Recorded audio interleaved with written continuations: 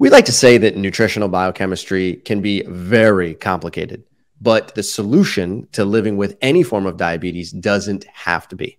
And that, my friends, is actually the truth. You don't have to be a master of biology or nutritional biochemistry or metabolism in order to understand how you can maximize your own personal health. What I want to do today is go through some frequently asked questions and give you an understanding of ways that you can apply the Mastering Diabetes method to your life starting today and get you set up for your optimal health if you haven't already done so. We know through plenty of experience and having helped over 10,000 people that there are three major topics that make all the difference in maximizing your metabolic health when living with any form of diabetes. Number one, moving your body for a minimum of 30 minutes per day.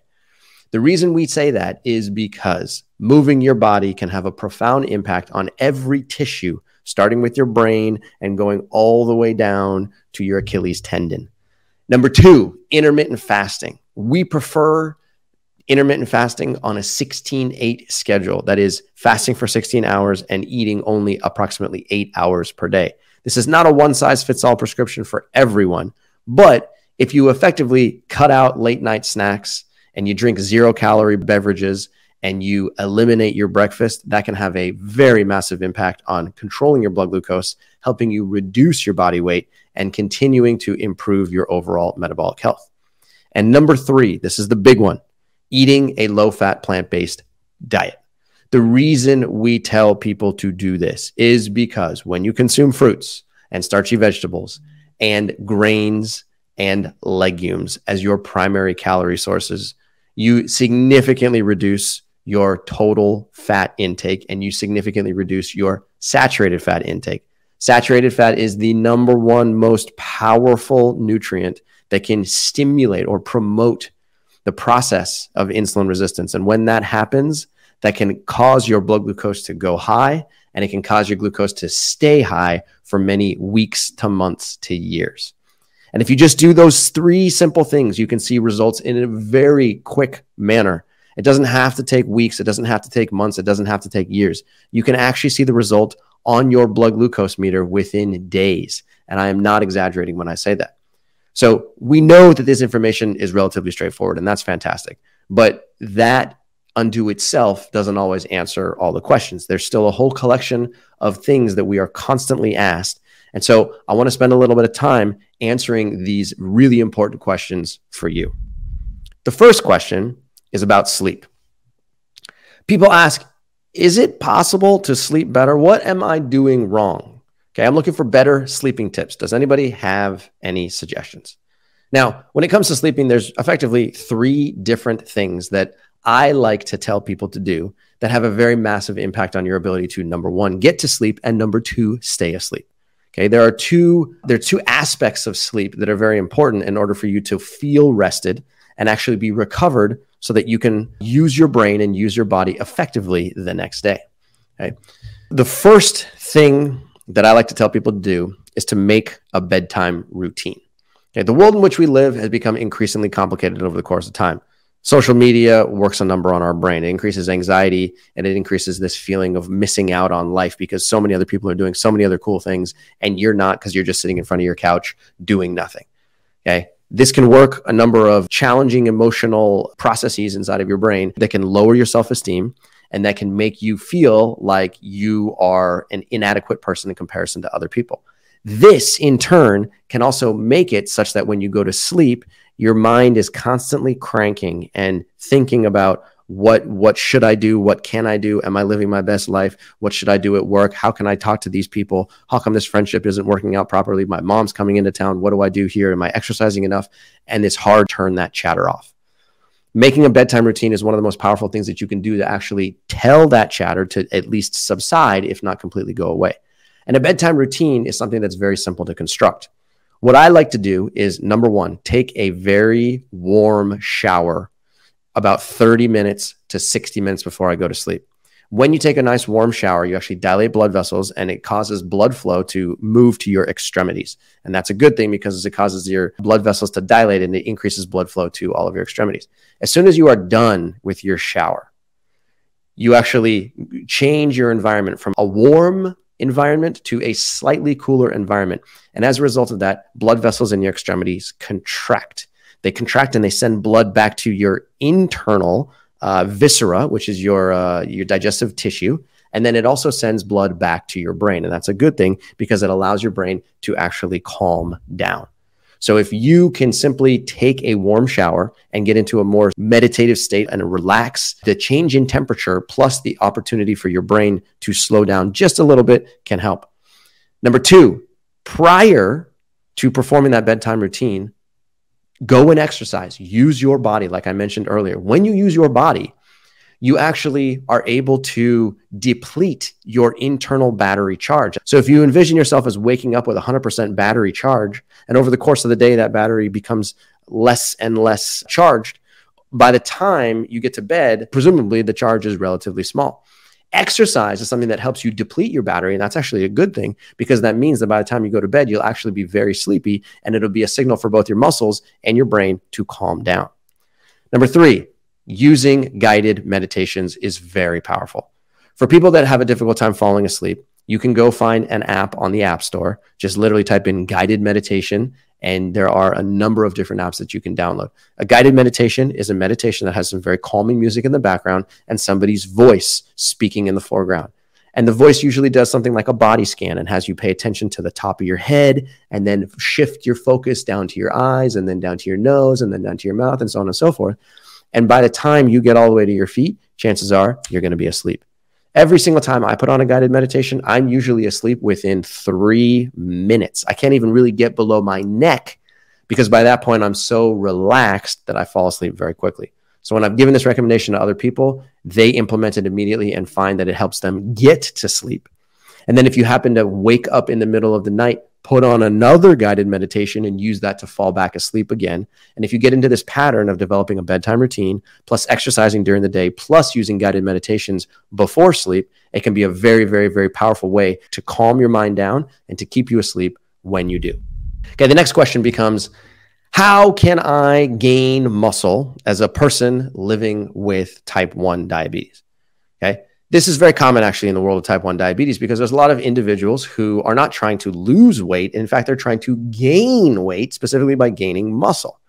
Okay. How can you do that? Is it just as simple as eating more food? Should I be eating more protein? How am I going to gain muscle? There's a lot of confusion in the world about muscle gain and protein consumption. And it, it, can seem pretty logical that if you're trying to gain weight and you're trying to gain primarily muscle because muscle is made out of protein, that all you have to do is just eat more protein.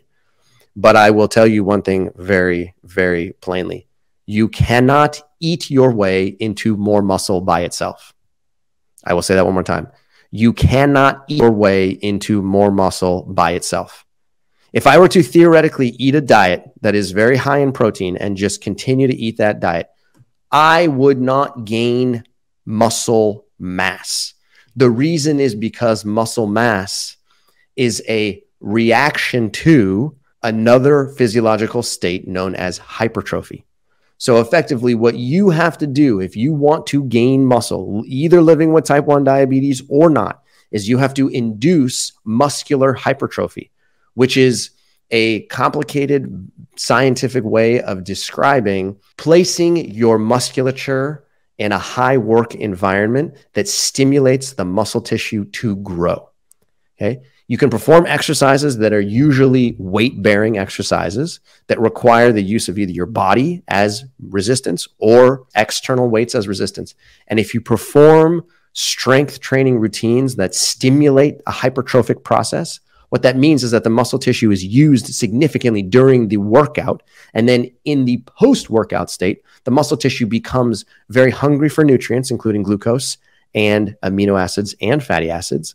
And then, in addition to that, the muscle is also poised to grow because if it can grow just a little bit stronger, then it's going to be able to withstand the same amount of strength training, if not a little bit more, the next time.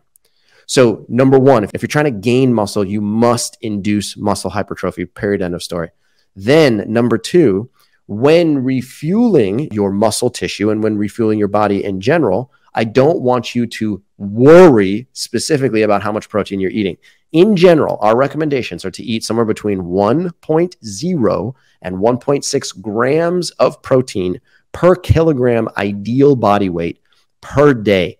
And if you can achieve that, then you're providing yourself with a significant amount of amino acids that are going to enable you to recover from the hypertrophic movements that are then going to stimulate muscle tissue to grow. So all you have to do is calculate your ideal body weight in kilograms and then multiply that number either by 1.0 or 1.2 or 1.4 or 1.6 depending on how active you are. The higher your activity level, the higher your protein intake could be. And those numbers are going to give you an indicator of approximately how much protein to consume on a daily basis. The last thing I'll say about this is that people over obsess about how much protein they should be eating on a daily basis, but they forget to understand that carbohydrate is absolutely a very important macronutrient for muscle growth as well.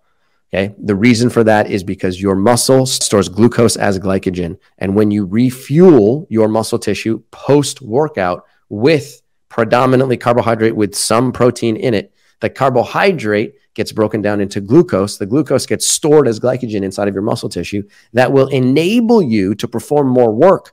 And by performing more work, you can then induce more of a hypertrophic state. You can then also refuel again with more carbohydrate and some protein. And this process enables you to gain mass over the course of time. Third question we receive from a lot of people is they say, you know what? I understand you guys have a coaching program. Do I really need coaching? Is that something that I have to implement into my life, or can I just do this by myself? Now, what we have discovered over the course of the last six years, working with more than 10,000 people, is that, you know what? You could absolutely change your lifestyle on your own. In fact, I'm living proof. Robby's living proof. Every single one of our coaches is living proof that you can absolutely change your lifestyle on your own. You don't need anyone else to go through the process with you. But the one thing I will say to that is changing your lifestyle by yourself can be very hard. Research shows that committing and having accountability while going through a lifestyle change process is the most important key to actually getting it done. And if you haven't gotten it done so far, if you haven't successfully changed over your lifestyle to eating a more plant strong diet, then every moment that you take where you're not making that change is counting against you. So if you haven't done it so far and you're constantly thinking about doing it, then having somebody on your team to help you implement the process is exactly why we are here. I want you to think about it this way knowledge is not enough. You can know everything there is to know about the benefits of a plant based diet and how it's going to lower your blood pressure and your cholesterol and your blood glucose values and make you stronger and improve your cognitive power. That's fine. Go read as many books as you want, and I don't care. I think it's fantastic. Arm yourself with as much science as you possibly can. But just because you have that knowledge does not mean you're going to implement it in your life. The implementation is the hard part. The implementation is the important part. And if you are having a difficult time implementing this in your life and you want somebody to help you hold your hand and point you in the right direction and guide you towards making the right choices on a day to day basis, despite all of the complexities of your lifestyle and all of the logistics that could be in the way, that's where a coach comes in. I hope that makes sense. Hey, I'm Cyrus Khambatta, co creator of the Mastering Diabetes Method, which has helped thousands of people reverse insulin resistance and take control of their lives no matter what type of diabetes they're living with. Do you want to know all of our tips, tricks, and secrets? They're right here in our New York Times best-selling book, Mastering Diabetes, which you can find at masteringdiabetes.org slash book. If you're ready to master diabetes, pick up a copy today. You won't be disappointed.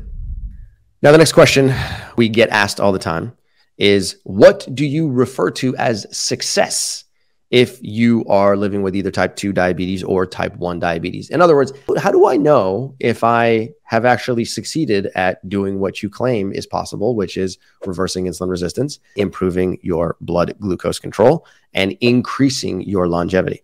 How do I know when this is all done? And the answer is guess what? It's never done. It's literally never done. And the reason it's never done is because as you improve your health. There's a number of different biomarkers that are going to be changing simultaneously. We refer to these collections of biomarkers as PILAF, P I L A F. These are the what we refer to as being the most important biomarkers that can have a dramatic impact on your longevity and at reducing your chronic disease risk. I will walk through them one by one by one. P. P stands for pressure, blood pressure. As you change your diet, as you change your lifestyle, as you become more plant strong, your blood pressure is likely to decrease. If you already have normal blood pressure and you're not hypertensive, fantastic. We're going to keep you there. But if you are hypertensive, either slightly hypertensive or quite hypertensive, then eating a plant based diet can make some significant improvements in your overall blood pressure, both systolic and diastolic. And you can watch them decrease by more than 10 points, 20 points, 30 points within the first few months of adopting a plant based diet. Dr. Walter Kempner was the first one to discover this back in 1950. He was a professor at Duke University, and he demonstrated without a shadow of a doubt that eating a plant strong diet, a plant exclusive diet, which was the rice fruit diet that he created, where people ate nothing but white rice, sugar, fruits, and fruit juice. That people who ate that diet were, were able to significantly reduce their blood pressure, some by as many as 100 points. And as soon as they started to regress and put more animal protein back into their diet, their blood pressure went right back up. Okay. So your blood pressure is important and it is something that you want to take into account at all times. Number two, I in PILAF stands for ideal body weight. Your ideal body weight matters. You can calculate your ideal body weight by picking up a copy of the Mastering Diabetes book, and we teach you exactly how to make that calculation. And once you know exactly what your ideal body weight is, the goal is to try and move towards that ideal body weight and then stay at that ideal body weight permanently. The, the weight loss world has worked a number on people's heads and teaches you how to lose weight quickly. The problem is that when you lose weight quickly, you end up gaining weight quickly. And then you lose weight quickly again, then you gain weight quickly, and you end up on a yo yo pattern. And this can become very dangerous and can wreak a lot of havoc on your brain, on your emotions, and many digestive organs. So you want to achieve your ideal body weight and get there, and you want to stay there over the course of time. In PILAF, the L stands for lipids. It's very important that your lipid panel, including your total cholesterol, your LDL cholesterol, your HDL cholesterol, and your triglycerides, all become normal over the course of time. If you're already there, fantastic. We're going to keep you there. But if you're either your high, your, your total cholesterol is high, your LDL cholesterol is high, your HDL cholesterol may be low or your triglyceride level may be high. If that's the case, then eating a plant based diet and operating in the mastering diabetes ecosystem will help normalize all four of those lipid biomarkers. So that's very important, something we want to pay attention to at all times. In PILAF, the A stands for A1C. Your A1C is a is the single most important marker of your average blood glucose concentration. And the goal is to try and get your A1C if you're living with prediabetes or type 2 diabetes to below 5.7. In fact, I was just reading a study that demonstrated that the goal is to get you between about 5.0 and 5.5 and if you can get to that that those that that A1C range and stay there for a long period of time then you are maximizing your opportunity to uh, uh, so you're maximizing your longevity and significantly reducing your chronic disease risk finally the F in PILAF stands for fasting blood glucose. If you want to lower your fasting blood glucose, then the mastering diabetes method is something that will definitely get you there without question. Because as you reverse insulin resistance, your fasting blood glucose will come down and it will come down measurably. And you can see the difference on your blood glucose meter every single day. So the original question was, well, how do I know when I'm done? And the answer is you are technically never done. However, we want you to pay attention to the P, the I, the L, the A, and the F together so that you can reduce all of them simultaneously and we can get to a normal value for every single one of them your blood pressure, your ideal body weight, your lipids, your A1C, and your fasting glucose. And once you have achieved those values, we want you to stay at those values for many years. So you can think about this as an exercise in at first, I'm going to try and normalize these values. And then secondarily, my next job is to try and keep these values and integrate them into a lifestyle that is as sustainable as possible. So that's the most important way that you can think about this in the long term. Now, the final question that we get from a lot of people is what is the number one thing that I can do to lose weight quickly? Now let's go backwards to what I said a couple minutes ago, which is losing weight rapidly. The weight loss world, the weight loss industry is full of books and programs and specials and products and supplements that teach you how to lose weight. In fact, this is a trillion dollar industry that's only gotten more complicated and more, I would say, unethical over the course of time. The reason I say that is because weight loss is actually not that hard. It's not that difficult to understand from a biological perspective, but it can be difficult to implement, as we touched on before. Losing weight is literally a balance between how many calories you put into your body and how many calories you expend. And I know the weight loss world wants to complicate it and make it sound like it just can't possibly be a question of calories in versus calories out. It can't possibly be that simple. But biologically speaking, it is that simple. And so the goal is to try and get your calorie intake to be less than your calorie expenditure, and you create a calorie deficit. And if you can create that calorie deficit and you can maintain that calorie deficit, that will translate to weight loss. If you're trying to keep your body weight normal, then your energy intake and your energy expenditure must be approximately equal. And then if you're trying to gain weight, your energy intake has to be larger than your energy expenditure. And as a result of that, you will create, again, a calorie surplus, and that's going to help you gain weight. So what we're trying to do is create a calorie deficit because you want to lose weight. And I will say a couple of things about this. Number one, losing weight fast is not smart. I do not want you to lose weight fast for a couple of reasons. Like we talked about earlier, yo yo dieting can happen all the time when you lose weight rapidly and then gain the weight rapidly again. Okay. Even if you're using a pharmaceutical agent like Ozempic, it's a GLP 1 receptor agonist that's going to help you lose weight, but stimulate weight loss without changing your habits. It's not a sustainable path in the long term. What I want you to do rather than thinking about how can I lose weight quickly is how can I change my habits so that I can naturally and consistently lose about one to one and a half pounds per week and keep that going over the course of time. I want you to focus on habit change. I don't want you to worry about the number on your scale because the number on your scale is a side effect of your lifestyle. So, if you are eating foods that are lower in calorie density than you would find in the standard American diet, that's a great way of lowering your total energy intake. And what that means is that you're going to be eating foods that contain less calories per bite. And by doing that, you can get full relatively quickly. And as a result of that, you end up naturally taking on less calories than you thought you would. And that keeps you full so that you don't feel like you're hungry all the time.